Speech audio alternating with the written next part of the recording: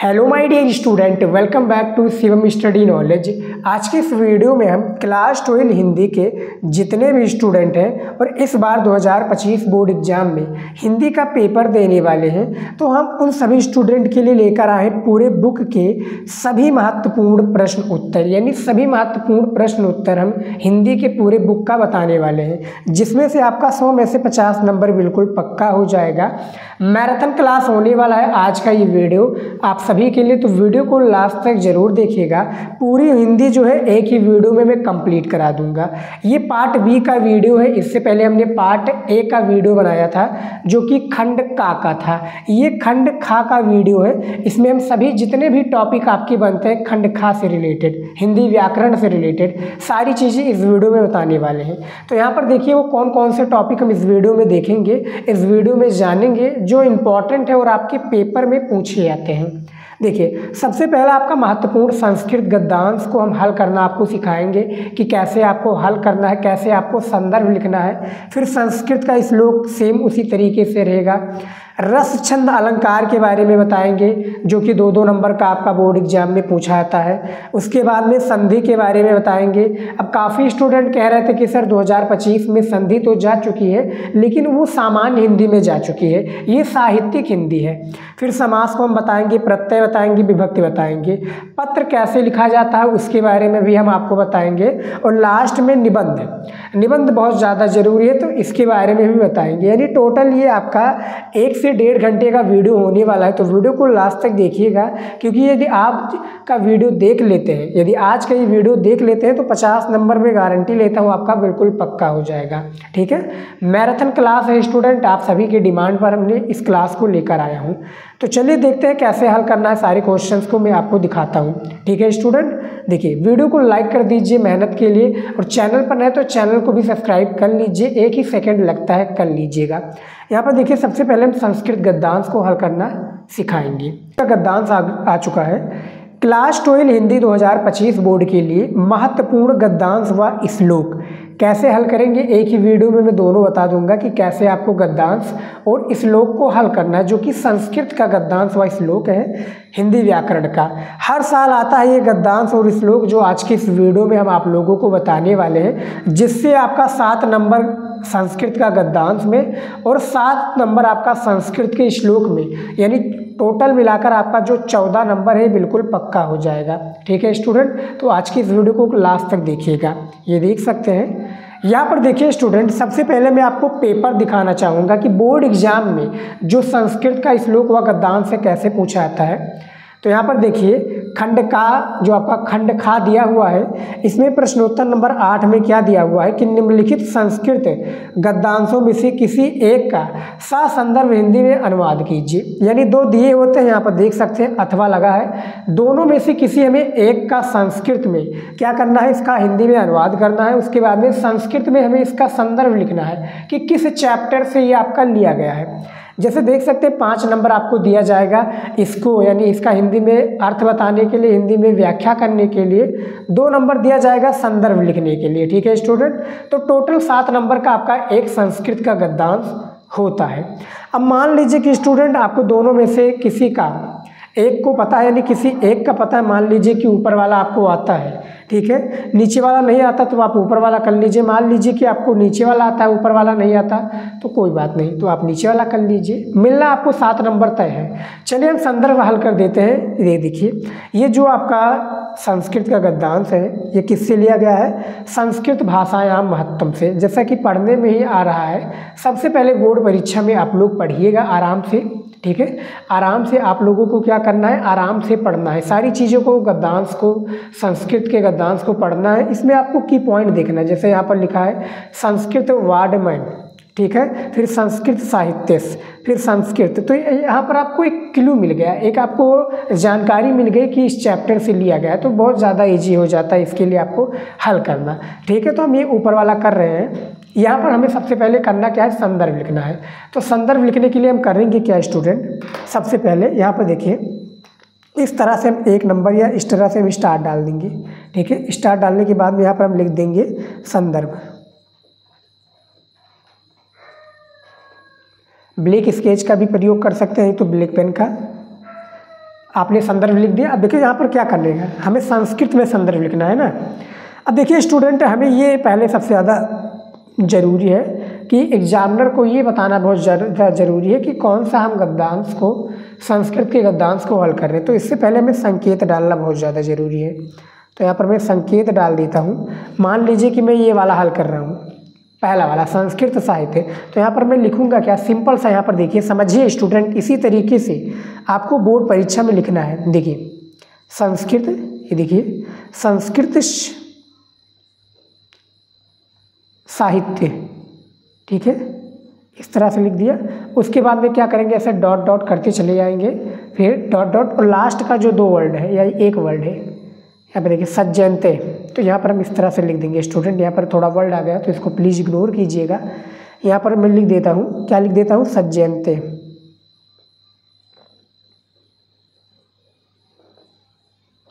ठीक है स्टूडेंट समझ में आ गया? ये देखिए।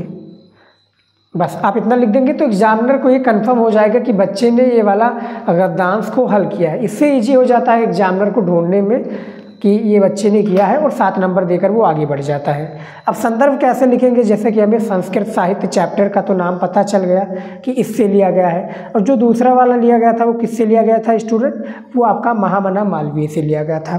तो संदर्भ हम कैसे लिखेंगे? देखिए, प्रस्तुत यहाँ पर देखिए, प्रस्तुत गद्दांश हमारी प्रस्तुत गद्दांश हमारी पाठ्य पुस्तक पाठ्य पुस्तक ठीक है पाठ्य पुस्तक के। अब यहाँ पर हमें ब्लैक पेन का प्रयोग करना है पाठ्य पुस्तक के संस्कृत भाग।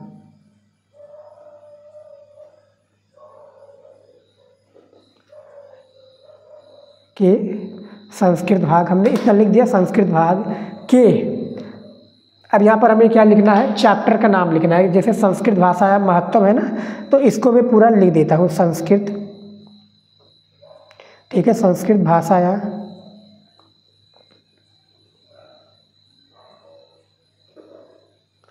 महत्वम। ठीक है? महत्वम।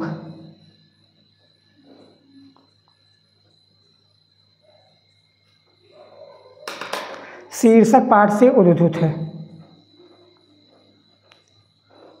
शीर्षक पाठ से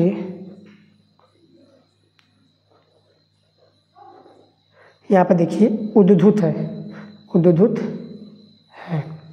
तो ये हमारा संदर्भ लिख गया। देख सकते हैं कितना प्यार से लिखा गया है संदर्भ कि प्रस्तुत गद्यांश हमारी पाठ्य पुस्तक के संस्कृत भाग के संस्कृत भाषा यहाँ महत्तम शीर्षक पाठ से उद्धत है।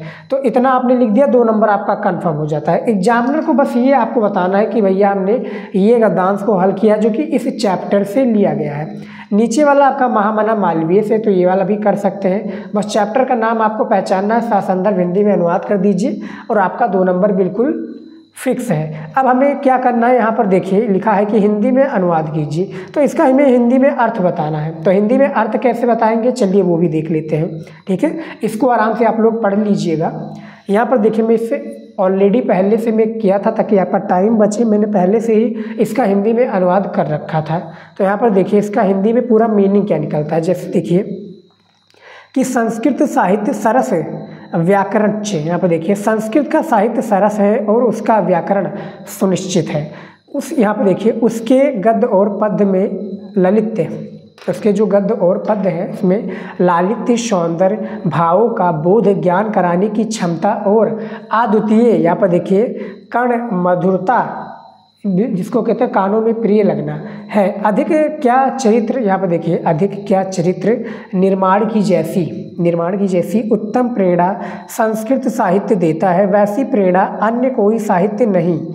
मूलभूत मानवीय गुणों का जैसा विवेचन साहित्य, जैसा विवेचन संस्कृत साहित्य में मिलता है, वैसा अन्य कहीं नहीं, अन्य कहीं नहीं दया साहित्य। यहाँ पे देखिए, दया, दान, या देखिए, अन्य कहीं, यहाँ पर देखिए, अन्य कहीं नहीं, दया, दान, पवित्रता, उदारता, ईर्ष्या या द्वेष हित होना, क्षमा तथा अन्याय अनेक गुण इसके साहित्य की अनुशीलन, यहाँ पर देखिए, इनके साहित्य की अनुशीलन अध्ययन एवं मनन में मनुष्य, मनुन, मनन से, मनुष्य से उत्पन्न होते हैं। तो यही इसका अर्थ था स्टूडेंट, जो कि अनुवाद में था। अनुवाद थोड़ा आपको डिटेल में करना होता है, क्योंकि पाँच नंबर का बात है। तो आप लोगों को पढ़ लेना है ज़्यादा से ज़्यादा। देखिए, कौन से आपके संस्कृत का गद्दांश इंपॉर्टेंट है, मैं आपको बताना चाहूँगा। एक आपका संस्कृत भाषा या महत्तम दूसरा महामना मालवीय, तीसरा पंचशील सिद्धांता।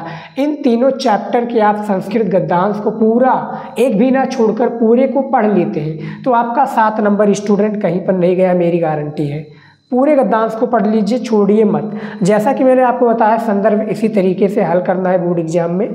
जिस तरह से यहाँ पर देख सकते हैं कि प्रस्तुत गद्दांश हमारी पाठ्य पुस्तक के संस्कृत भाग के संस्कृत भाषा या महत्व से क्या है, उद्भूत है। तो इस तरह से आप लोगों को बोर्ड एग्ज़ाम में प्यारे विद्यार्थी संदर्भ को लिखना है, ठीक है? इसी तरीके से आप लोगों को संदर्भ लिखना है। संदर्भ लिखने का बहुत ही ईजी तरीका है, दो नंबर इससे आपको ईजिली मिल जाएगा, जैसा कि देख सकते हैं। दो नंबर इसमें मिल जाएगा, सात नंबर इसमें तो टोटल सात नंबर आपका कंप्लीट हो चुका है। अब हम चलिए देख लेते हैं इस श्लोक को कैसे हल करेंगे। ठीक है अभी तक तो, तो मैंने गद्दांश को आपको हल करना बताया है अब इस श्लोक को भी देख लेते हैं। यहाँ पर देखिए, क्लास ट्वेल्व हिंदी 2025 का महत्वपूर्ण श्लोक आ चुका है, जो कि ये भी सात नंबर का दिया होता है। जैसा कि संस्कृत का गद्यांश सात नंबर का दिया होता है सेम इसी प्रकार से ये भी सात नंबर का दिया जाता है। कैसे दिया जाता है, मैं दिखा दूँ आपको पेपर में, ताकि आपका सारा डाउट क्लियर रहे कि पेपर में कैसे गद्दांश आते हैं। ये देखिए। खा नंबर में दिया हुआ है कि निम्नलिखित संस्कृत श्लोकों में से किसी एक का सा संदर्भ हिंदी में अनुवाद कीजिए। ठीक है, हिंदी में अनुवाद करना है। इसमें भी दो दिए हुए हैं। दोनों में से किसी एक को करना है जो आपको अच्छा लगे। देखिए, ये दोनों आपका क्या, किससे लिया गया है? निपुत दिलीप से लिया गया है। दोनों आपका ये निपुत दिलीप से लिया गया है। किन्हीं एक का करना है जो आपको अच्छा लगे? वो आप लोग प्यारे विद्यार्थी, कर लीजिए और अपना पूरा नंबर एक प्रकार से क्या है, बटोर लीजिए। ठीक है? यहाँ पर देख सकते हैं किसी तरीके से करना है। अब यहाँ पर चलिए हम देख लेते हैं पूरा इसका संदर्भ कैसे हल करते हैं, क्योंकि इसमें भी दिया हुआ है, यहाँ पर देख सकते हैं कि सा संदर्भ हिंदी में अनुवाद कीजिए। यानी सेम प्रोसेस वही है, यहाँ पर भी हमें संदर्भ लिखना पड़ेगा। दो नंबर संदर्भ का, पाँच नंबर हमें जब इसका अनुवाद कर देंगे हिंदी में मीनिंग बता देंगे, तब दिया जाएगा। तो चलिए देख लेते हैं कैसे हल करना है। यहाँ पर देखिए, यहाँ पर हमें सबसे पहले संदर्भ लिखना है, ठीक है?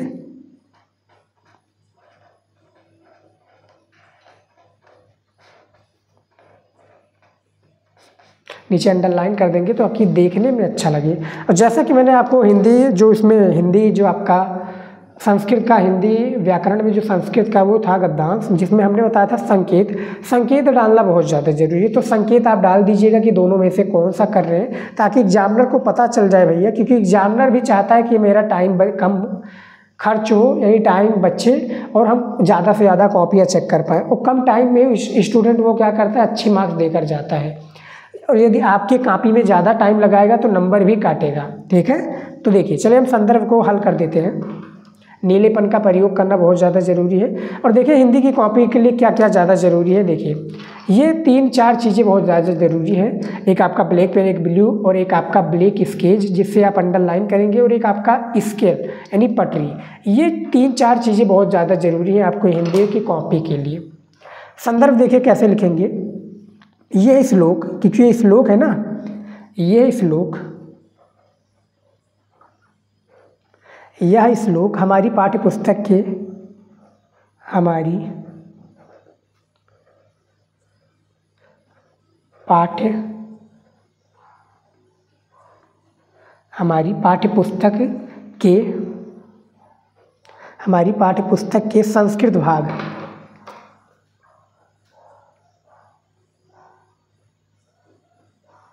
के संस्कृत भाग। के संस्कृत भाग के। अब यहाँ पर हमें चैप्टर का नाम बता देना है, के। चैप्टर का नाम क्या है भैया? निपत दिलीप।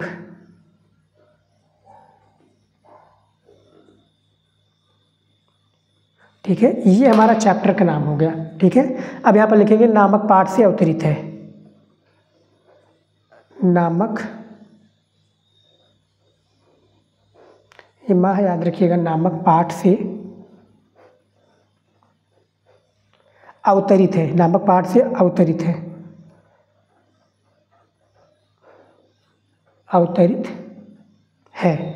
जो महाकवि और भी मैं लिख देता हूँ आगे, जो, नहीं तो आप इतना लिख देंगे तो दो नंबर पक्का हो जाएगा, लेकिन जो आगे बुक में लिखा है वो भी मैं लिख देता हूँ, जो कि महाकवि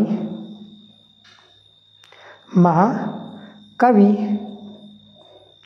कालिदास के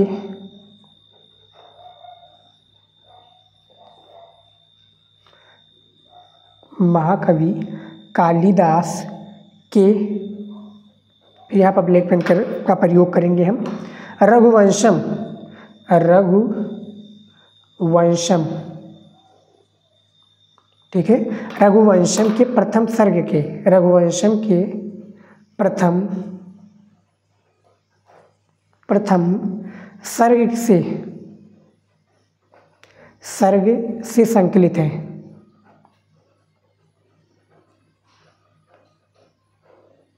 क्या है प्यारे विद्यार्थी? संकलित है। तो ये हमारा एक प्रकार से संस्कृत का श्लोक का संदर्भ हो गया।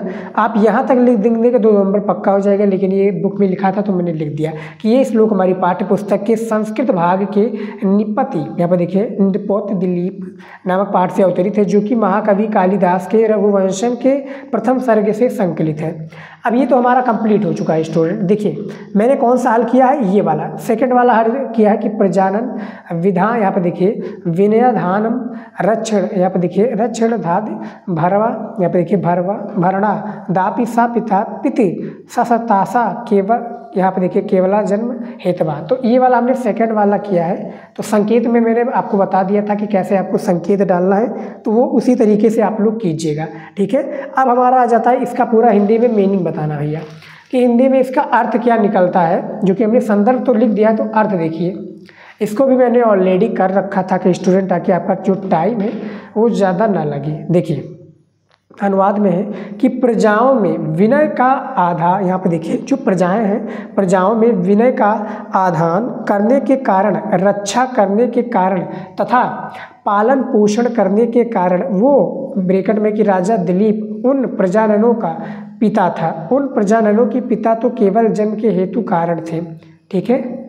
तो ये अनुवाद है जो कि इस तरह से लिखा हुआ है। इसमें ज़्यादा बेसिकली अनुवाद नहीं आपको देना होता है हिंदी में, क्योंकि ये छोटा होता है। जिस तरह से आपका हिंदी का गद्य पद में आपने देखा होगा कि पद्यांश आपका छोटा होता है, गद्यांश के मुकाबले सेम प्रोसेस यहाँ पर भी आपका उसी तरीके से लागू होता है। देखिए श्लोक और, आपका श्लोक में और जो हिंदी संस्कृत का इस संदर्भ और वो है संदर्भ लिखने में दोनों में काफ़ी ज़मीन आसमान का फ़र्क है, ज़मीन आसमान का डिफरेंस है।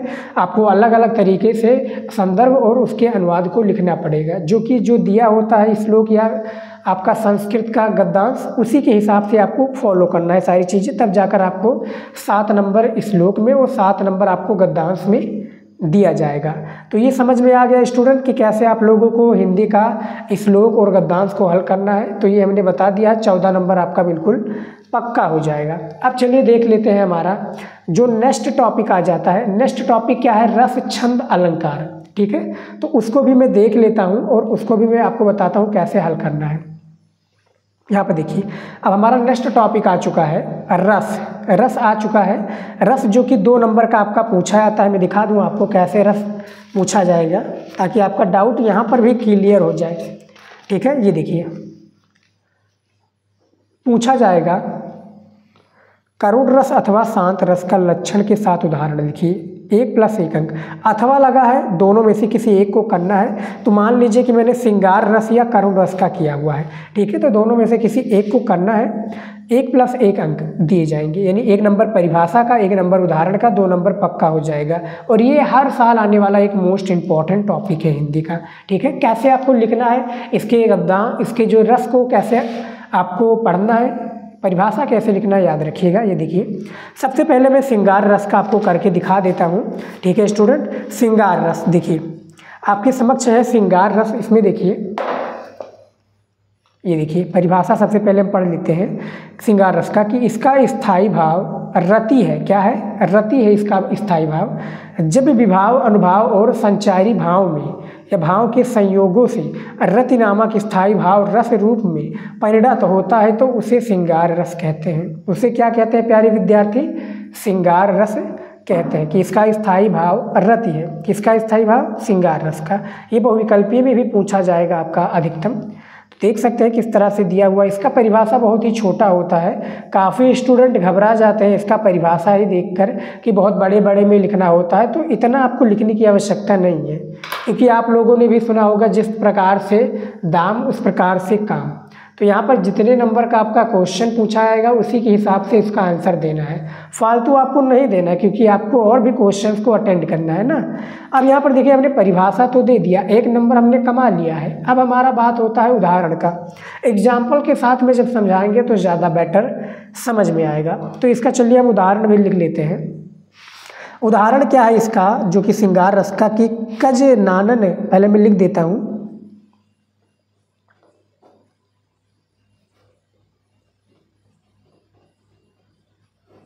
कज नयन यहाँ पे देखिए कज नयन मजनू कज नयन यहाँ पर मैं लिख देता हूँ आपका कज नयन मजनू किए ठीक है राइटिंग पे मत जाइएगा राइटिंग मेरी अच्छी नहीं बैठती है। किए बैठी। किए बेटी ब्यौरावत ठीक है? बार अब यहाँ पर क्या लिखे कच कच चा है? गलत हो गया। तो मैं सफ़ेदा इस पर लगा देता हूँ ताकि आपको पढ़ने में कोई दिक्कत ना हो, स्टूडेंट। ठीक है? पढ़ने में दिक्कत होगी तो प्रॉब्लम हो जाएगी आपको। ठीक है? ये चा हो जाएगा? ठीक है? यहाँ पर मैं थोड़ा और इसको सुधार देता हूँ। हाँ ये देखिए। हो गया? ठीक है हाँ देखिए। कचे अंगूर। मैं थोड़ा लिख देता हूँ। कचे अंगूरी। अंगूरी बीच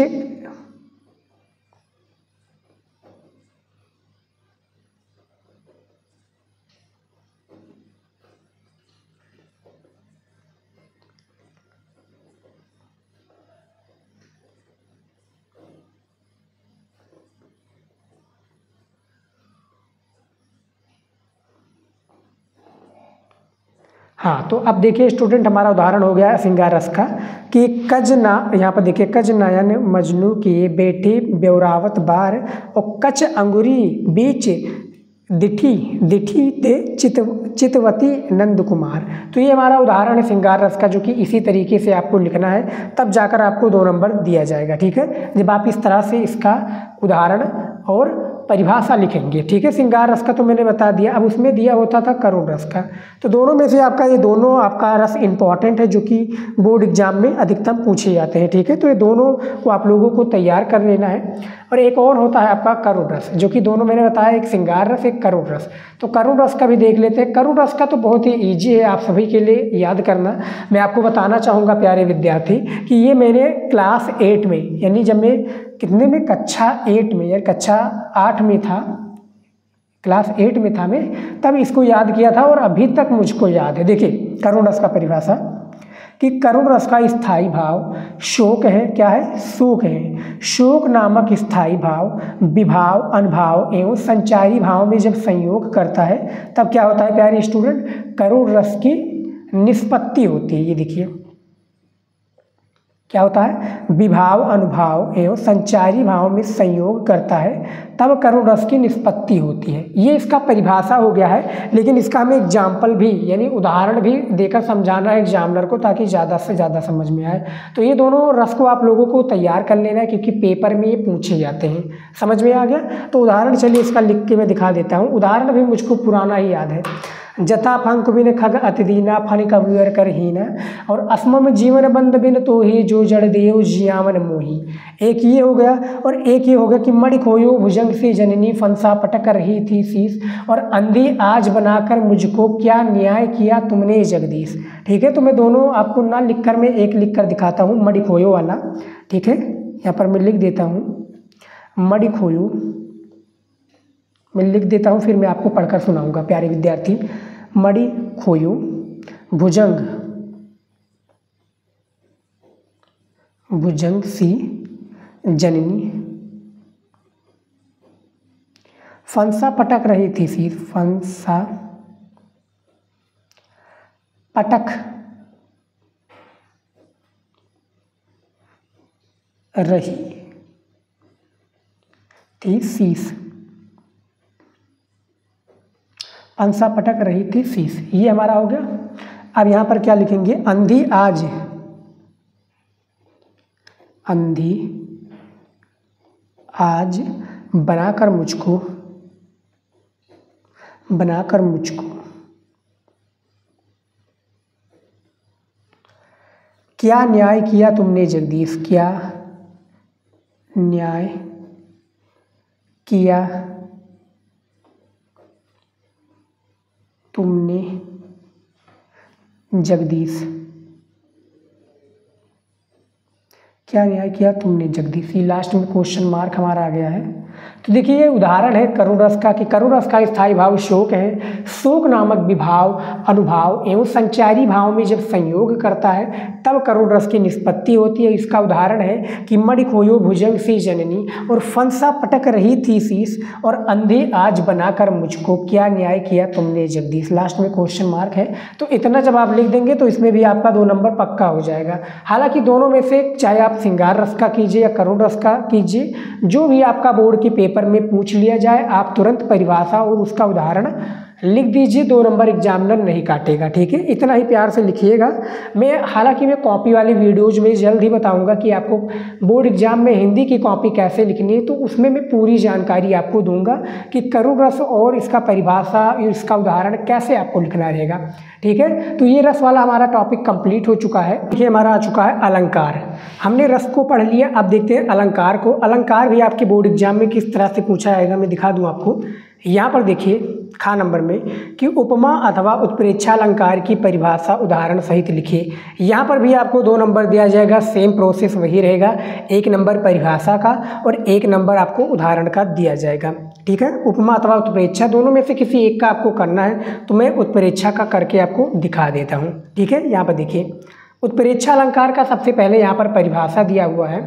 कि जहाँ उपमेय में उपमान की संभावना की जाए, वहाँ उत्प्रेक्षा अलंकार होता है। अब यहाँ पर आप देख सकते हैं स्टूडेंट कितना प्यारा सा और कितना छोटा दिया हुआ है, ठीक है? कितना प्यारा सा और कितना छोटा दिया हुआ है आपका उत्प्रेक्षा अलंकार का परिभाषा। जैसा कि यहाँ पर देख सकते हैं कि जहाँ उपमेय में उपमान की संभावना की जाए, वहाँ उत्प्रेक्षा अलंकार होता है।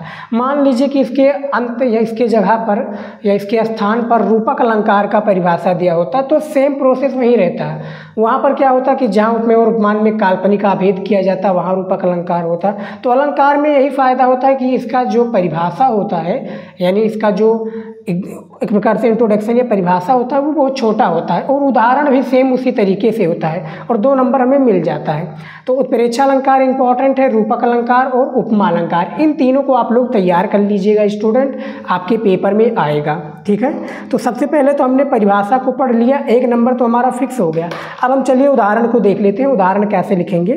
देखिए, उदाहरण को लिखने के लिए हमें करना क्या है? उत्प्रेक्षा अलंकार को तो इस पर हम नीचे थोड़ा जाएँगे डीपली हाँ यहाँ से हम लिखेंगे, ठीक है? देखिए, सोहत सोहत ओढ़े सोहत ओढ़े, ठीक है? पितु पटु पितु पटु। सोहत ए ओढ़े पितु पटु। श्याम सलोने गात श्याम। श्याम सलोने। श्याम सलोने गात ठीक है?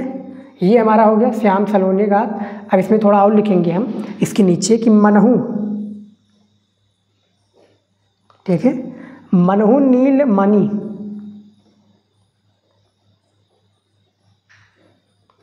मनहू नील मणि, सैल पर। ठीक है? सैल पर आतपु।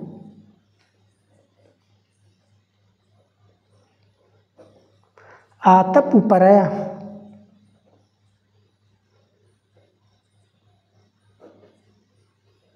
प्रभात। ठीक है तो उत्प्रेक्षा अलंकार का परिभाषा देख लिया कि जहाँ उपमेय और उपमान में संभावना की जाए, वहाँ उत्प्रेक्षा अलंकार होता है। उदाहरण है कि सोहत ओढ़े, पितुपटु, श्याम सलोने गात, और मनहु नीलमन शैल पर अपत परयो प्रभात। ये उदाहरण हो गया। दो नंबर इसमें भी आपको मिल जाएगा। अब जैसा कि मैंने बताया, अलंकार आपके तीन चार इंपॉर्टेंट है, रूपक अलंकार परीक्षा अलंकार, उपमा अलंकार और एक श्लेष अलंकार को भी, यानी चार आप रख लीजिए, चारों में से तैयार कर लेंगे तो आपका दो नंबर पक्का है। और ये भी हर साल आने वाला एक मोस्ट इंपॉर्टेंट टॉपिक है। समझ में आ गया? अब चलिए देख लेते हैं छंद को। यहाँ पर देखिए, छंद दिया हुआ है स्टूडेंट छंद भी बोर्ड एग्ज़ाम में किस तरह से पूछा जाएगा, मैं दिखा दूँ आपको। पेपर में देखिए, पूरा क्या है, मैं आपको लाइव दिखाता हूँ कि पूरा आपको कैसे करना प्रोसेस क्या रहेगा और बोर्ड एग्ज़ाम में कैसे पूछा जाता है, सारी चीज़ें आपको पता चलेंगी। यहाँ पर देखिए, चौपाई दिया हुआ है, ठीक है? चौपाई अथवा कुंडलिया छंद की परिभाषा उदाहरण सहित लिखिए। यहाँ पर भी दो नंबर है, वही सेम प्रोसेस रहेगा, परिभाषा उदाहरण वाला। लेकिन यहाँ पर आपको क्या करना है, मात्रा लगाना पड़ेगा। तो मैं चौपाई वाला करके दिखा देता हूँ क्योंकि अथवा लगा है। तो चौपाई वाला में यहाँ पर देखिए क्या है? परिभाषा देखिए कि चौपाई छंद में चार चरण होते हैं। इसके प्रत्येक चरण में सोलह सोलह मात्राएँ तथा अंत में दो गुरु वर्ण होते हैं। ठीक है? अंत में दो गुरु वर्ण होते हैं। जैसे कि उदाहरण के रूप में जब समझेंगे, प्यारे विद्यार्थी तो आपको ज़्यादा समझ में आएगा। ठीक है? देखिए शिशु सब राम प्रेम बस जाने और प्रीत समेत निकेत बखानी, और निज निज रुचि सब लेह बुलाई, सहित स्नेह राम दुई भाई। ठीक है ये तो हो गया। अब हमें क्या करना है इसमें? जैसे दिया हुआ कि सोलह सोलह मात्राएँ होती है प्रत्येक चरण में। इसके हर एक चरण में क्या है, सोलह सोलह मात्राएँ होती हैं। तो सबसे पहले प्यारे विद्यार्थी हम लोग करेंगे क्या, हमें करना इसका मात्रा लगाना है, ठीक है? इसका मैं मात्रा लगा लेता हूँ, फिर मैं आपको दिखाता हूँ कि क्या, कैसे मैंने मात्रा लगाया, और इसमें अंत में जो दो गुरु है, वो क्या होता है, देखिए।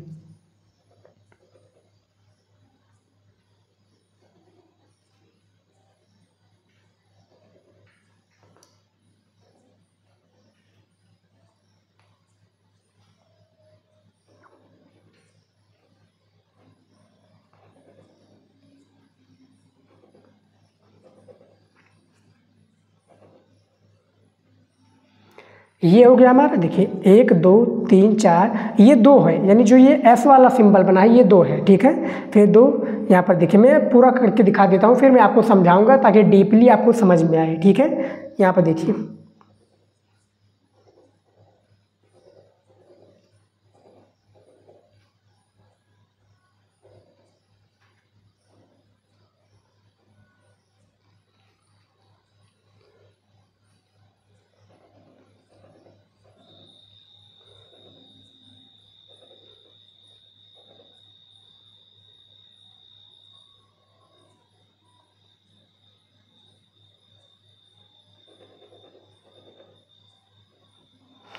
देखिए, अभी हमारा मात्रा लग गया। जैसे इसमें क्या बताया गया था तो इसके प्रत्येक चरण में सोलह सोलह मात्राएँ तो ये जो दो, जो एस वाला सिंबल है दो मात्राएँ हैं, यानी दो मात्राएँ तो दो दो चार, दो छः दो आठ, फिर एक, नौ, दस, ग्यारह, बारह, तेरह, चौदह, पंद्रह, सोलह। तो इसमें तो हमारा स्टूडेंट सोलह हो गया। अब इसमें भी देख लेते हैं सोलह मात्राएँ हैं कि नहीं है। दो दो चार, दो छः दो आठ, दो दस, ग्यारह, बारह, तेरह, चौदह, पंद्रह और सोलह। सोलह मात्राएँ इसमें भी हमारा हो गया। ठीक है? इसमें भी देख लेते हैं कि सोलह मात्रा यहाँ तक होती है कि नहीं। दो दो, चार, दो, छः छः, एक, सात, आठ, नौ, दस, ग्यारह, बारह, तेरह, चौदह, पंद्रह, सोलह। तो इसमें भी हमारा भैया सोलह मात्राएँ हो गई। इसमें भी देख लेते हैं सोलह मात्राएँ। दो दो, चार, दो, छः, दो, आठ। आठ, नौ, दस, ग्यारह, बारह, तेरह, चौदह, पंद्रह, सोलह। इसमें भी हमारा सोलह मात्राएँ। यानी हर एक चरण में इसकी सोलह सोलह मात्राएँ हैं। अब जैसा कि बताया गया था कि अंत में दो गुरुवण है तो यहाँ पर देख सकते हैं दो गुरुवण है। ठीक है? ये दो गुरुवण है। ठीक है स्टूडेंट इसी को दो वर्ण कहा जाता है। अब इसमें देखिए मात्रा कैसे लगाएँगे कि शिशु में शिशु में देखिए दो मात्रा हैं। सब में भी दो मात्रा, राम में भी यहाँ पर देखिए राम, ठीक है? फिर प्रेम में भी यहाँ पर देख सकते हैं प्रेम वाले में। बस में जाने में यहाँ पर देखिए ये मात्रा है। ने फिर ये बड़ू का मात्रा, फिर प्रीति ठीक है? तो इसी तरीके से चौपाई में मात्रा लगाया जाता है। चौपाई, छंद, दोहा, छंद, सोरठा छंद, रोला छंद, ये सब में क्या होता है? मात्राएँ लगा के आपको एग्जामिनर को समझाना पड़ता है, तब एग्जामिनर समझेगा। ठीक है? और इसमें परिभाषा जब दिया होता है तो उदाहरण के एग्ज़ाम्पल की तरह ही दिया होता है। जो चौपाई में दिया होता है, उसी के हिसाब से आपको सारी चीज़ें करनी रहती हैं। एकदम फिट आना चाहिए मात्राएँ, तभी आपको एग्जामिनर देखेगा और आपको दो नंबर दिया जाएगा। एक नंबर आपको परिभाषा का दे दिया जाएगा और एक नंबर आपको उदाहरण का दे दिया जाएगा जब आप इस तरह से करेंगे। तो समझ में आ गया चौपाई छंद को? हमने पूरा डीपली समझा दिया है। कौन कौन से चौपाई छंद इंपॉर्टेंट है? आपका चौपाई, रोला, सोरठा और दोहा। ये चार चीज़ें तैयार कर लेते हैं आप छंद में। तो आपका दो नंबर कोई भी नहीं काट सकता, ये गारंटी है स्टूडेंट तो ये भी कंप्लीट हो चुका है। अब चलिए देखते हैं जो हमारा नेक्स्ट टॉपिक आ जाता है। वो क्या आता है? संध विच्छेद, संध समास और प्रत्यय विभक्ति। इसको भी मैं देख लेता हूँ। ठीक है? संध विच्छेद उसको देख लेते हैं। तीन क्वेश्चन रहेगा, एक नंबर का आएगा, तीन नंबर फिक्स हो जाएगा। तो सबसे पहला संध विच्छेद क्या दिया हुआ है? यहाँ पर देखिए संध देगा, हम उसका विच्छेद करेंगे। गायक का संध विच्छेद होगा, ये इंपॉर्टेंट संधि है और ये आपके पेपर में पूछे जाते हैं।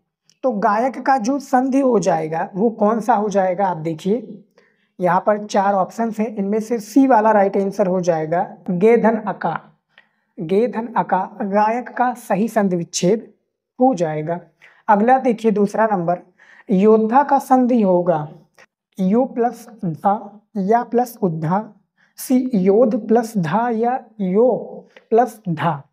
तो योद्धा का सही संधि विच्छेद आप लोगों को बताना है। दूसरा का भी सी राइट आंसर हो जाएगा। योद्धा हो जाएगा यानी योद्ध प्लस धा, योद्धा। इसका सही संधि विच्छेद हो जाएगा। ठीक है? उसके बाद में तीन नंबर देखिए, स्वागतम का संधि विच्छेद क्या होगा? ये सारे जो इंपॉर्टेंट संधि विच्छेद बता रहा हूँ, ये आपकी कुछ ना कुछ, यानी पिछले साल के पेपर में 2022 2021 के पेपर में भी पूछे गए थे। तो स्वागतम का संध विच्छेद क्या होगा? स्व प्लस गतम या सो प्लस आगतम या शु प्लस आगतम या सवा प्लस गतम। तो शु प्लस आगतम हो जाएगा, सी राइट आंसर हो जाएगा। ठीक है? स्वागतम का ये सही संध विच्छेद है। तो इसमें तीन हमने संध विच्छेद बताए हैं और हर एक टॉपिक का, क्योंकि पाँच टॉपिक है तो सभी का मैं तीन तीन क्वेश्चंस बताने वाला हूँ इस वीडियो में। ऐसे क्वेश्चंस बताऊँगा इंपॉर्टेंट है। इसके बाद में भी हमारा और भी वीडियो आएगा इससे रिलेटेड अब बात कर लेते हैं समास विग्रह पर। देखिए, समास विग्रह एक एक क्वेश्चन आता है। दो क्वेश्चन पूछे जाते हैं तो दो नंबर इसमें भी फिक्स हो जाएगा। सबसे पहला जो समास पूछा गया है, समास दिया होगा हमें उसका विग्रह करना है, ठीक है? तो सबसे पहला जो समास दिया है कि घनश्याम में समास है। घनश्याम में समास आपका कौन सा हो जाएगा?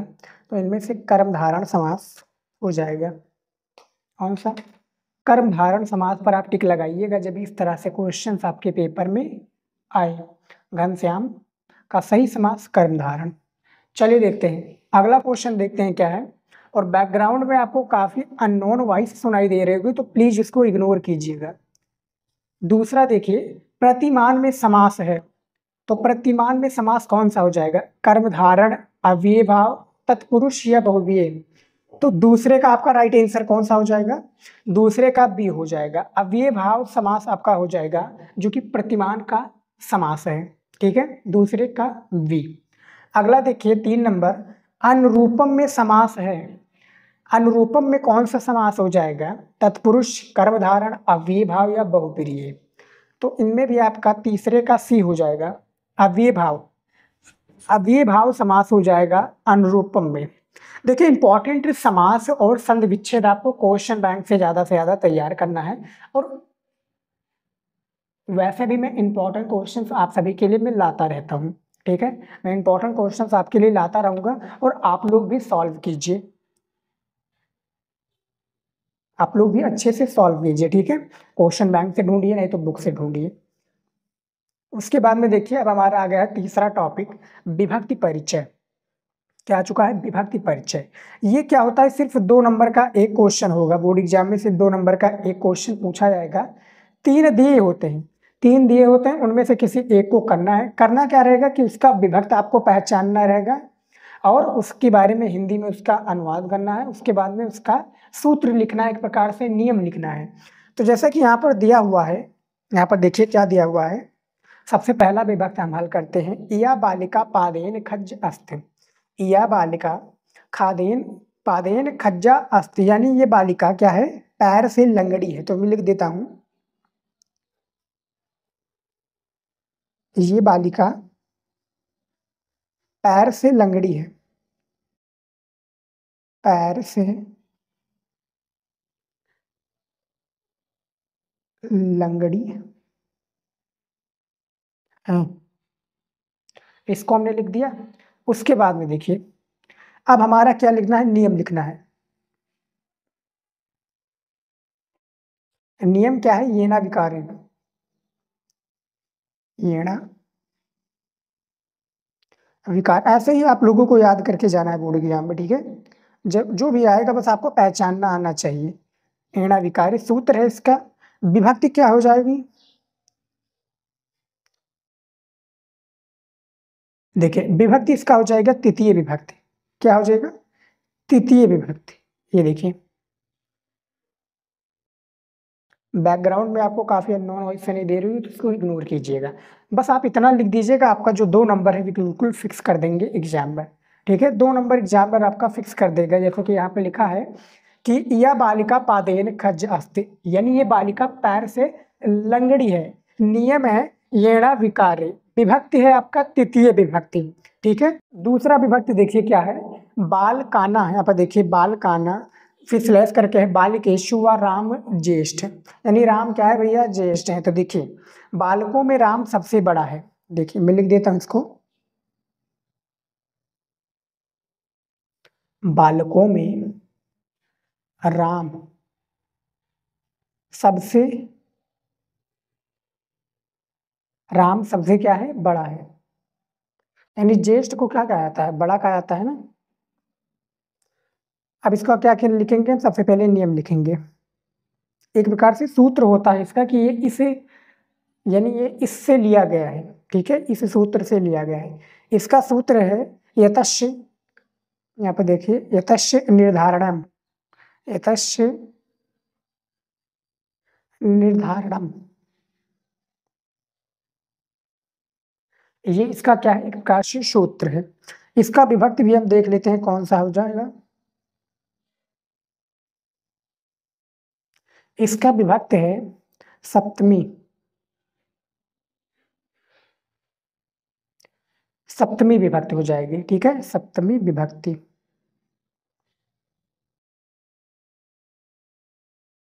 ये इसका विभक्ति है। बालकाना बालिकेशु व राम ज्येष्ठ।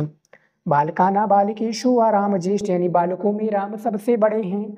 नियम है यतश्च निर्धारण यानी इसको हम सूत्र भी कह सकते हैं या नियम भी कह सकते हैं, ठीक है? बुक में तो सूत्र ही लिखा है, विभक्त है सप्तमी विभक्ति। ठीक है? ये आपको समझ में आ गया। फिर एक और हो जाएगा इसमें इसमें एक और है, ऐड कर दूँगा मैं। क्योंकि तीन तीन टॉपिक है ना तीनों टॉपिक को लेकर साथ में चलना ज़रूरी है। तीसरा है, पिता सा पुत्र गच्छति। पिता सा पुत्र गच्छति, यानी क्या भैया? पिता के साथ पुत्र जाता है। पिता के साथ पुत्र जाता है। यहाँ पर लिख देते हैं, पुत्र जाता है। पिता के साथ पुत्र जाता है, नियम हम सबसे पहले लिखेंगे। नियम आपका हो जाएगा, सहयुक्त सहयुक्त प्रधाने। प्रधाने, विभक्ति कौन सा हो जाएगा? विभक्ति आपका हो जाएगा, तृतीय विभक्ति। इंपॉर्टेंट इंपॉर्टेंट देखिएगा, एक और होता है आबिता परता समया निक्सा हा प्रतियोगी, जो कि सबसे शुरुआत में, ठीक है, शुरुआत में आ जाता है तो उसको भी आप लोग देख लीजिएगा, उसके भी सारे एक प्रकार से विभक्ति को तैयार कर लीजिएगा, ठीक है। अब चलिए देखते हैं हमारा फोर्थ नंबर वाला टॉपिक प्रत्यय, ये भी एक एक क्वेश्चन दो क्वेश्चन पूछे जाते हैं, दो नंबर वाले। हमें प्रत्यय पहचानना रहता है। तो प्रत्यय वाला भी देख लेते हैं, सबसे पहले इंपॉर्टेंट है प्रत्यय, देखिए क्या है। सबसे पहला है पाद, यहाँ पे देखिए कॉमा के अंदर इन्वर्टेड कॉमा के अंदर कि पा धातु में कत्वा प्रत्यय लगने पर क्या रूप बनेगा? पाद जो धातु इसमें कत्वा जो प्रत्यय लगने पर रूप बनेगा, वो क्या बनेगा? यहाँ पर देखिए पीतम प्रीत पित्वा या पतुम। दोनों में बताइए क्या बनेगा? यहाँ पर आप देख सकते हैं पा धातु में कत्वा प्रत्यय लगने पर रूप जो बनेगा डियर स्टूडेंट वो पित्वा बनेगा। ठीक है सी वाला राइट आंसर हो जाएगा। समझ में आ गया? चलिए देखते हैं, अगला देखिए, दूसरा नंबर प्रीतम शब्द में प्रत्यय कौन सा हो जाएगा? प्रीतम शब्द है आपका। इसमें जो प्यारे स्टूडेंट प्रत्यय हो जाएगा, वो आपका हो जाएगा कत्वा। प्रीतम, कत, आपका हो जाएगा कत प्रत्यय। तीसरा है लिख धातु में यहाँ पर देखिए लिख धातु में अनियर प्रत्यय लगने पर रूप जो बनेगा, वो कौन सा बनेगा डियर स्टूडेंट पहचान कर बताइए जल्दी से आप लोग। तो इनमें से जो राइट आंसर होगा लेखनीय बन जाएगा, ठीक है? लेखनीय यानी सी राइट आंसर हो जाएगा, जो कि लिख धातु से अनियर प्रत्यय लगने पर रूप बनेगा, लेखनीय, ठीक है? ये भी कंप्लीट हो चुका है। तो ये भी हमारा तीन टॉपिक जो है हमारा फोर्थ नंबर टॉपिक कंप्लीट हो चुका है। पत्र लेखन। पत्र कैसे हल करना है बोर्ड एग्ज़ाम में? चलिए मैं आपको बताता हूँ, पूरा डिटेल से समझिएगा पत्र लिखना।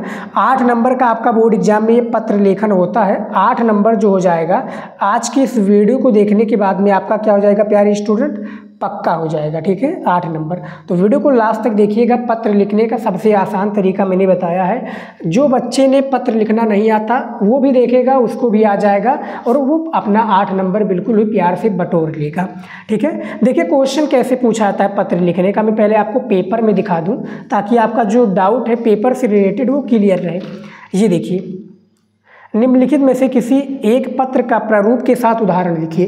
कार्यालय पत्र, व्यक्तिगत पत्र और व्यवसायिक पत्र। तो ये जो पत्र है स्टूडेंट बेसिकली, ये क्या, किससे पत्र है? ये आपका पत्र है किससे? कार्यालय पत्र कह लीजिए या इसको हम कह सकते हैं स्टूडेंट, ये व्यक्तिगत पत्र भी। तो व्यक्तिगत पत्र हम इस वीडियो में लेकर आया हूँ, यहाँ पर देखिए। क्वेश्चन क्या है? इसी हिसाब से आपको पत्र लिखना है। कि स्व, यहाँ पर देखिए, स्वरचित स्वरचित कविता प्रकाशित करवाने के लिए अनुरोध करते हुए किसी समाचार पत्र के संपादक को लगभग 80 से 100 शब्दों में लिखिए। क्या लिखिए? एक हमें पत्र लिखना है। तो ये हमारा परिभा एक प्रकार से हमें इसी के ऊपर पत्र लिखना है। तो पत्र चलिए देखते हैं कैसे लिखते हैं ये देखिए, सबसे पहले हमने ऊपर लिखा है पत्र लेखन। अब यहाँ पर आपको करना क्या है? सबसे पहले सेवा में लिखना है। आपको दो ही पेन का ही उपयोग करना है, लेकिन सबसे ज़्यादा आपको उपयोग करना है ब्लू पेन का, यानी नीले पेन का आपको सबसे ज़्यादा बोर्ड एग्ज़ाम में उपयोग करना है।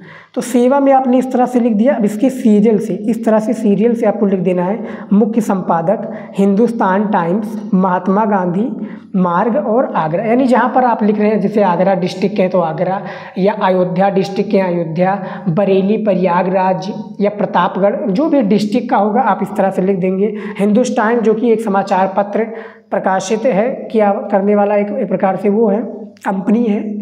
ठीक है? विषय क्या है हमारा? विषय फिर से हमें लिखने, लिखा, लिखना पड़ेगा क्योंकि एग्जामिनर को हमें समझाना है। तो नीले पेन को यहाँ पर ना कर, प्रयोग करके ब्लैक पेन से कीजिए। विषय है कि स्व, स्वरचित कविता प्रकाशित करवाने के संदर्भ में क्या है?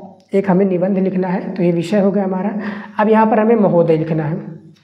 ठीक है? देखिए, महोदय हमें लिख दे सकते हैं यहाँ पर, नहीं तो हम मान्यवर भी लिख सकते हैं। तो यहाँ पर महोदय सबसे बेटर रहेगा, सभी यही प्रयोग करते हैं। तो यहाँ पर अब हमारा पूरा वो बताएँगे। देखिए, मैं कक्षा बारहवीं का विद्यार्थी हूँ, यहीं से मेरा पूरा प्रक्रिया स्टार्ट हो जाएगा, जो पत्र में एक प्रकार से जो मेन चीज़ लिखना होता है, यानी जिस बारे में जानकारी हमें प्रकाशित करानी है, उसके बारे में सारी जानकारी हमें इसी पत्र में लिखना है। तो देखिए, मैं कक्षा बारहवीं का विद्यार्थी हूँ किसका भैया विद्यार्थी हूँ? कक्षा बारहवीं का विद्यार्थी हूँ। कई दिनों से आपके द्वारा स्वरचित कविता के प्रकाशनार्थ, यहाँ पर देखिए, प्रकाशनार्थ विज्ञापन दिए जा रहा है। प्रकाशनार्थ विज्ञापन क्या होता है, स्टूडेंट? दिए जा रहा है, यहाँ पर देखिए, मैंने भी पर्यावरण के प्रति लोगों को जागरूक करने के लिए एक छोटी सी कविता लिखी है। पर्यावरण, भैया इन्वायरमेंट को, ठीक है? इन्वायरमेंट को प्रति लोगों के ऊपर जागरूक करने के लिए भैया कि पर्यावरण को बचाओ, क्योंकि इन्वायरमेंट रहेगा तो भैया इन्वाइटर जो आप सॉरी इन्वायरमेंट नहीं रहेगा तो हम भी नहीं रहेंगे। यानी पर्यावरण नहीं रहेगा, पर्यावरण से भैया हमारा घनिष्ठ संबंध है। तो पर्यावरण के प्रति लोगों को जागरूक करने के लिए एक छोटी सी कविता लिखी है, मैं आपके बाल प्रतिभा कॉलम में। मैं आपके क्या है बाल प्रतिभा जो कॉलम है, इसमें देखिए। कॉलम में इसे प्रकाशित करवाने की इच्छा रखता हूँ। आशा करता हूँ कि आप इसे अपने अखबार में छापकर मुझे प्रोत्साहित करेंगे। टाइम हिंदुस्तान टाइम्स जो एक अखबार, एक कंपनी है, जो कि प्राइवेट ना और प्राइवेट कंपनी है, या सरकारी भी कह सकते प्राइवेट है। प्राइवेट कंपनी जो कि भैया अखबार में छापकर मुझे प्रोत्साहित करेंगे। ये किसमें अच्छा दसवीं का एक विद्यार्थी है जो कि कई दिनों से आपके आपके जो द्वारा यानी जो एक प्रकार से विज्ञापन दिया जा रहा है। टीवी में आप लोगों ने देखा होगा ना जिसको हम ऐड कहते हैं। क्या कहते हैं? ऐड। उसको, ठीक है? दिया जा रहा है, मैंने पर्यावरण के प्रति लोगों को जागरूक किया है और एक प्रकार से उसमें एक कविता लिखी है। तो उसी को क्या है? बच्चे ने कहा कि भैया आप अपने टाइम ऑफ़ इंडिया में, अखबार में इस कविता को छाप दीजिए, ठीक है? यहाँ पर देखिए, अखबार को छाप कर मुझे प्रोत्साहित करेंगे। अब यहाँ पर क्या लिखेंगे? साधन्यवाद लिखेंगे किसको टाइम्स ऑफ़ इंडिया को। भवदीय लिखेंगे और आवासा यानी नाम लिख देंगे, जो वो विद्यार्थी का नाम है, और अपना डिस्ट्रिक्ट लिख देंगे, अपना जो ब्लॉक होगा वो लिख देंगे। जैसा कि यहाँ पर लिखा है, मुख्य संपादक मुख्य संपादक हिंदुस्तान टाइम्स, मुख्य संपादक हिंदू, हिंदुस्तान टाइम्स, महात्मा गांधी मार्ग। ये इतना लिख दिया स्टूडेंट ने। अब आपका जो देखिए, यहाँ पर कितना? आठ नंबर पक्का हो जाएगा। इतना बच्चे ने लिख दिया स्टूडेंट तो उसका आठ नंबर पक्का हो जाएगा, कोई भी आठ नंबर काट नहीं सकता, ठीक है? पत्र लिखने का सबसे बेहतरीन तरीका यही है। आठ नंबर पक्का करने का सबसे बेहतरीन तरीका यही है। पत्र इसी तरीके से लिखा जाता है, सेवा में लिखेंगे।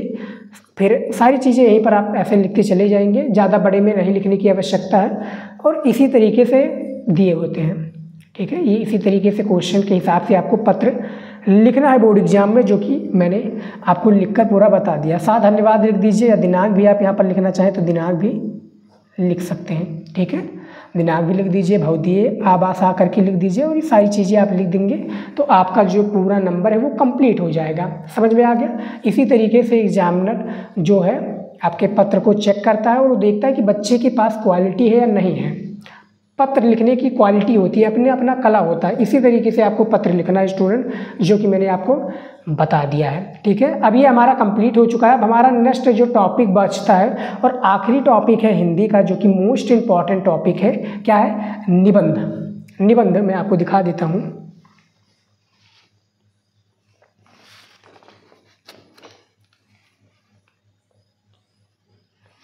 हेलो स्टूडेंट ये देखिए।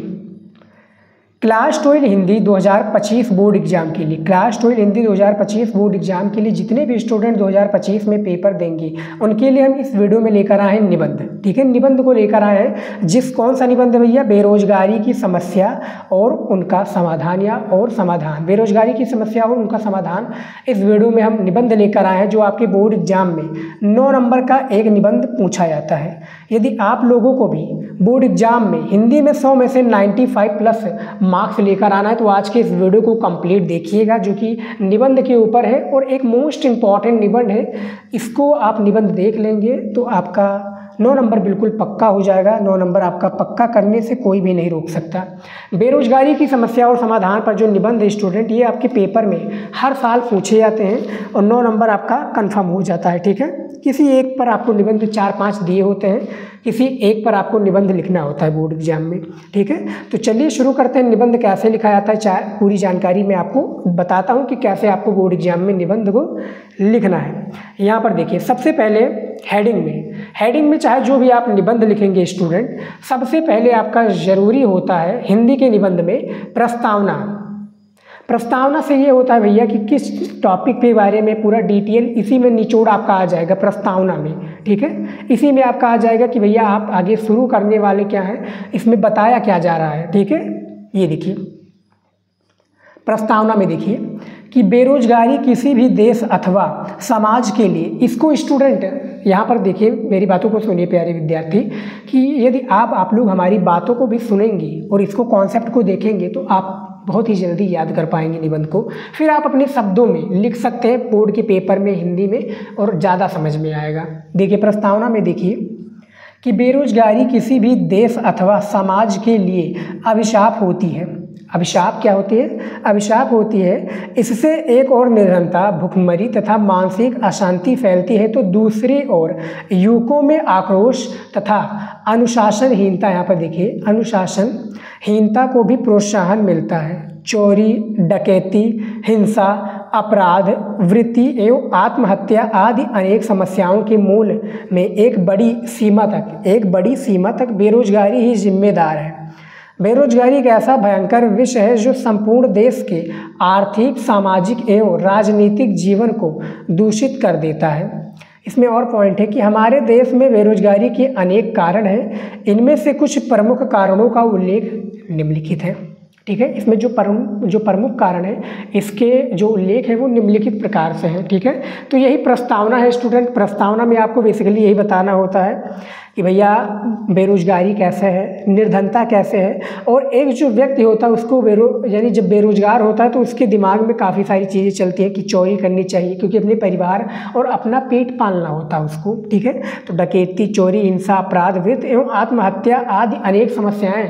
क्या है? अपराध, वृत्त अनेक समस्याएँ मूल रूप से एक बड़ी सीमा तक बेरोजगारी ही जिम्मेदार होती हैं, स्टूडेंट। अब आप लोगों को पता होगा, जो हमारी विद्यार्थी बेरोजगार हैं या जो भी उनके घर में फैमिली उनके बड़े भाई, उनकी बहन बेरोजगार हैं यानी एक प्रकार से उनको कोई काम नहीं मिल रहा, वो इतने पढ़े लिखे हैं तो वो बेरोजगार की श्रेणी में आ जाते हैं तो काफ़ी एक प्रकार से वो उसमें भुखमरी, निर्धनता, मानसिक अशांति फैलती रहती है बेरोजगारी में। समझ में आ गया? तो ये बेरोजगारी में प्रस्तावना का एक हेडिंग था, जो कि प्रस्तावना में आपका सारी चीज़ें व्यक्त कर दी गई है कि बेरोजगारी की समस्या किस हद तक है। ठीक है? तो प्रस्तावना हमारा हो गया। अब इसमें जैसे बताया गया है क्या बताया गया है यहाँ पर देखिए कि हमारे देश में बेरोजगारी के अनेक कारण हैं। इनमें से कुछ प्रमुख कारणों का उल्लेख निम्नलिखित है। यानी कुछ इस प्रकार से बताए गए हैं, जैसे यहाँ पर देखिए। सबसे पहला जो कारण है, बेरोजगारी की प्रमुख कारण। अब देखिए भैया, हमने प्रस्तावना तो बता दिया है। अब इसके प्रमुख कारण को हम बात कर लेते हैं कि प्रमुख कारण कौन कौन से हैं, ठीक है? फिर पूरा कॉन्सेप्ट समझ में आ जाएगा, आपका पूरा एक प्रकार से पा, पानी की तरह धुल जाएगा। देखिए, जनसंख्या में तीव्र गति से वृद्धि जनसंख्या में तीव्र गति से वृद्धि, ठीक है? विगत कुछ दशकों में, विगत कुछ दशकों में भारत में जनसंख्या का विस्फोट, भारत में जनसंख्या का विस्फोट हुआ है। भारत में जनसंख्या का विस्फोट हुआ है। हमारे देश की जनसंख्या में प्रतिवर्ष लगभग 2.5 यहाँ पर देखिए, लगभग 2.5 की वृद्धि हो जाती है। जबकि इस दर से बेकार, इस दर से बेकार हो रहे व्यक्तियों के लिए हमारे देश में रोज़गार की व्यवस्था नहीं है। हमारे देश में भैया क्या है? रोज़गार की व्यवस्था नहीं है, जो कि बेरोजगारी का प्रमुख कारण है। ठीक है, ये हो गया हमारा। आप लोग क्या है, एक इसी तरीके से बोर्ड की कॉपी में लिखना है, जैसे कि मैंने बताया। पॉइंट के हिसाब से लिखी जैसे कि यहाँ पर लिखा हुआ था ना कि बेरोजगारी की प्रमुख कारण। ब्लैक पेन से हमने लिखा है, फिर इसको हाईलाइट कर दिया है। फिर इसके यहाँ पर पूरे पूरा कॉन्सेप्ट आ गया है, पूरा आंसर आ गया है। तो इस तरह से जब आप लिखेंगे तो एक प्रकार से पूरा अच्छा लगेगा देखने में। और एग्जामिनर भी सोचेगा कि भैया, बच्चे को लिखने का तरीका मालूम है, ठीक है? क्योंकि इन्हीं सब टॉपर जो होता है सेम इसी तरीके से लिखता है। यही सब गलतियाँ जो होती हैं, वो आप लोग कर देते हैं, और टॉपर नहीं करता है। इन गलतियों को वो सुधारता है और देखता है कि इसी तरीके से हम लिखेंगे, तब हमें नौ नंबर फुल दिया जाएगा। नौ नंबर पाना आसान नहीं है स्टूडेंट देखिए, दूसरा है हम हमारे देश में कुशल एवं प्रशिक्षित व्यक्तियों की कमी। अब भैया, हमारे देश में कुशल एवं प्रशिक्षित जो व्यक्ति हैं, उसमें कमी कैसे है, देखिए। उद्योगों उद्योगों के सफल संचालन के लिए विदेशों से प्रशिक्षित कर्मचारी बुलाने पड़ते हैं। इस कारण देश के कुशल एवं प्रशिक्षित व्यक्तियों के बेकार हो जाने की भी समस्या हो जाती है। बेकार हो जाने की भी क्या होती है? समस्या हो जाती है। ये हमारा हो गया हमारे देश के कुशल एवं प्रशिक्षित व्यक्तियों की कमी। तीसरा है भारतीय शिक्षा। अब भैया, भारतीय शिक्षा इसमें किस तरह से योगदान निभाती है देखिए। भारतीय शिक्षा सैद्धांतिक अधिक है, सैद्धांतिक अधिक है, ये व्यवहारिकता से शून्य है। इसमें पुस्तकीय ज्ञान पर ही इसमें देखिए क्या है, पुस्तकीय ज्ञान पर ही विशेष ध्यान दिया दिया जाता है। यहाँ के स्कूल कॉलेज कॉलेजों से निकलने वाले छात्र दफ्तर की लिपिक ही बन जाते हैं। दफ्तर की लिपिक ही बन जाते हैं भैया, एक प्रकार से सरकारी नौकरी के पीछे ही। भागने लगते हैं ठीक है? वे निजी उद्योग धंधे स्थापित करने योग्य नहीं बन पाते हैं। भैया, अपना निजी कार, अपना कंपनी खड़ा करना, जैसे जेमोटे हो गया जिमोटो हो गया, उसके बाद में क्या हो गया भैया? फ्लिपकार्ट हो गया अमेजोन हो गया, फिर माइक्रोसॉफ्ट हो गया। तो ये सब भैया जो बड़ी कंपनियाँ हैं, इन्होंने अपना एक प्रकार से कंपनी बनाया। ये नौकरी की तरफ़ न भागकर अपना बड़ी बड़ी कंपनियों के ऊपर ध्यान दिया बड़े बड़े उद्योग धंधों के ऊपर स्थापित किया, ठीक है? तो काफ़ी जो हमारे स्टूडेंट होते हैं, वो नौकरी की ओर भागेंगे कि भैया पढ़ लिख कर नौकरी लें। लेकिन नौकरी ही कुछ नहीं होता। नौकरी मिले तो ठीक है, ना मिले तो भाड़ में जाए। नहीं तो आप अपना व्यवसाय कीजिए, छोटा सा बिज़नेस कीजिए, छोटे से बिज़नेस को आप अपना लंबा बढ़ा दीजिए। यानी छोटे से बिज़नेस को आप धीरे धीरे ग्रो करते जाइए, उसको बढ़ाते जाइए। तो ये भारतीय शिक्षा का एक प्रकार से सैद्धांतिक स्वरूप है। इसमें और भी दिया हुआ है। देखिए, चौथा क्या दिया हुआ है? ये देखिए, चौथा दिया हुआ है कि विगत पंचवर्षीय योजनाओं में देश का औद्योगिक विकास, जो विगत पंचवर्षीय योजना है, इसमें देश का औद्योगिक विकास कैसे है, ये देखिए। समुचित रूप से देश का औद्योगिकीकरण नहीं किया जा सकता है। समुचित रूप से जो देश का औद्योगिकीकरण है, ये नहीं किया जा सकता है। अतः व्यक्तियों के लिए रोज़गार अतः जो व्यक्तियों के लिए रोज़गार नहीं उपलब्ध हो पा रहे हैं, व्यक्तियों के लिए भैया रोज़गार जो है ये नहीं उपलब्ध हो पा रहे हैं, ये विगत पंचवर्षीय योजनाओं में देश का औद्योगिक विकास है, जो कि ये बताया गया है, ठीक है? अब हम देख लेते हैं, पूरा हमने तो पूरी समस्या देख ली कि बेरोजगारी की समस्या क्या है। अब इसके समाधान के ऊपर बात कर लेते हैं, यानी जो भी समस्या होती है उसका समाधान ज़रूर होता है और इस वीडियो में भी समाधान आपको मिलेगा। ठीक है? और अभी तक आप लोगों ने वीडियो को लाइक नहीं किया तो कर दीजिए स्टूडेंट, हम आप सभी के लिए ही मेहनत कर रहे हैं। वीडियो को लाइक और चैनल को सब्सक्राइब कर लीजिए। एक ही सेकंड लगता है चैनल को सब्सक्राइब करने के लिए। चैनल को सब्सक्राइब कर लीजिए, हम ऐसे इंपॉर्टेंट वीडियो आप सभी के लिए लेकर आते रहेंगे। तो चैनल को अभी सब्सक्राइब कर लीजिए और वीडियो को लाइक कर दीजिए ताकि हमें मोटिवेशन मिले स्टूडेंट आप सभी के लिए इंपॉर्टेंट वीडियो बनाने का। देखिए, समस्या का समाधान क्या है? सबसे पहला इसका समाधान है कि जनसंख्या में अत्यधिक वृद्धि बेरोजगारी का मूल कारण है। बेरोजगारी का क्या है? मूल कारण है, इस पर नियंत्रण बहुत आवश्यक है। जनता को परिवार नियोजन का महत्व समझाने हुए उसमें छोटे परिवार के प्रति चेतना जागृत करनी चाहिए। जो छोटे परिवार हैं, उनके प्रति क्या करनी चाहिए, स्टूडेंट? चेतना जागृत करनी चाहिए। उसके बाद में दिया है दूसरा पॉइंट कि शिक्षा को व्यवसाय प्रधान बनाकर शारीरिक श्रम का भी उचित महत्व दिया जाना चाहिए। जो शारीरिक श्रम है, इसको भी उचित महत्व दिया जाना चाहिए। उसके बाद में देखिए यहाँ पर है कि मुख्य उद्योगों के साथ साथ, तीसरा है कि मुख्य उद्योगों के साथ साथ सहायक उद्योगों का भी विकास किया जाना चाहिए। जो इसके सहायक उद्योग हैं, इसका भी विकास एक प्रकार से क्या है, किया जाना चाहिए। जैसे कि यहाँ पर देखिए कृषि के साथ साथ पशुपालन तथा मुर्गी पालन आदि। इसमें एक, इसका समाधान है। इसमें और भी दिया हुआ है। चौथे में दिया हुआ है, चौथे नंबर में, कि देश में बेरोजगारी को दूर करने के लिए राष्ट्र निर्माण संबंधी विविध कार्यों का विस्तार किया जाना चाहिए। सड़कों का निर्माण, रेल परिवहन का विकास तथा वृक्षारोपण जैसे कार्यों पर बल दिया जाना चाहिए। ठीक है? इस पर बल दिया जाना चाहिए। अब लास्ट में हमारा स्टूडेंट आ जाता है कंक्लूजन यानी उपसंहार। उपसंहार में क्या होता है? यानी पूरे का निचोड़ आ जाता है इसमें, कि हमने अभी तक जिन भी टॉपिक या उसका समस्या के बारे में बात किया, उसके समाधान के बारे में बात किया तो सारे का निचोड़ इसमें आ जाता है स्टूडेंट तो यहाँ पर देखिए क्या दिया हुआ है। हमारी सरकार बेरोजगारी उन्मूलन के लिए जागरूक है। बेरोजगारी और उन्मूलन के लिए क्या है? उन्मूलन के लिए जागरूक है और इस दिशा में उसने महत्वपूर्ण कदम भी उठाए हैं। परिवार नियोजन बैंकों का राष्ट्रीयकरण, कच्चा माल, एक स्थान दूसरे स्थान पर ले जाने की सुविधा, कृषि भूमि की हदबंदी नए नए उद्योगों की स्थापना, जो बेरोजगारी को दूर करने में कुछ सीमा तक सहायक सिद्ध हुए हैं, इसके बारे में ये उपसंहार में बताया गया है। ठीक है स्टूडेंट यहाँ पर देख सकते हैं आप, आराम से वीडियो को रोक कर इसके कॉन्सेप्ट को समझ कर पूरा देख लीजिए किस तरह से मैंने बताया है, ठीक है? इसी तरीके से आपको पूरी चीज़ों को समझना है। ये हमारा जो निबंध था, हमने बता दिया स्टूडेंट देख सकते हैं। निबंध के बारे में पूरी जानकारी दे दिया है। जो कि इसमें बताए गए थे। सारी चीज़ों को हमने बता दिया है निबंध में, जो कि हमारा निबंध जो था बेरोजगारी की समस्या और समाधान के ऊपर, ये पूरी चीज़ें हमने बता दिया है। नौ नंबर आपका बिल्कुल पक्का हो जाएगा यदि आप इस तरह से लिखेंगे। बेरोजगारी की समस्या और समाधान निबंध बहुत ही ज़्यादा इंपॉर्टेंट है और आपके पेपर में पूछे जाते हैं। ठीक है? तो आई होप कि आपको समझ में आया होगा। ज़्यादा बड़े में लिखने की आवश्यकता नहीं है। ढाई सौ शब्दों में पूछा जाता है और जितना मैंने लिखा है वो ढाई सौ शब्दों से कम नहीं होगा, ज़्यादा ही होगा स्टूडेंट तो इतना आप लोग लिख देते हैं तो आपका नौ नंबर पक्का हो जाएगा। तो स्टूडेंट यहाँ पर आप लोग देख सकते हैं, हमने निबंध तो लिख दिया है। और जो हमारे जितने भी टॉपिक थे, हमने बता दिए। सारे टॉपिक को हमने पूरा एक बता दिया है। संस्कृत का गद्दांश कैसे हल किया जाता है? संस्कृत का श्लोक कैसे हल किया जाता है? रस छंद अलंकार कैसे को हम परिभाषा उदाहरण देंगे? संधि समास प्रत्यय विभक्त के बारे में बता दिया है। पत्र कैसे लिखा जाता है, इसके बारे में हमने बता दिया है। और निबंध कैसे लिखा जाता है, इसके बारे में बता दिया है। तो जो हमारा खंड खा का, यानी जो खंड खा का हमारे सारे हिंदी व्याकरण के टॉपिक थे, हमने सभी को बता दिया है। स्टूडेंट तैयार कर लेंगे तो पचास नंबर बिल्कुल पक्का हो जाएगा स्टूडेंट और ये मेहनत आप सभी के लिए हमने किया है।